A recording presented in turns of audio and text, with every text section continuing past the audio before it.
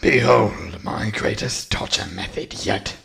The FitnessGram Pacer test is a multi-stage aerobic capacity test that progressively gets more difficult as it continues. The 20-meter pacer test will begin in 30 seconds. Line up at the start. The running speed starts slowly, but gets faster each minute after you hear this signal.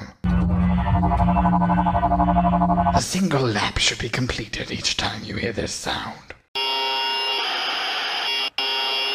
Remember to run in a straight line and run as long as possible. The second time you fail to complete a lap before the sound, your test is over. The test will begin on the word start. On your mark, get ready, start.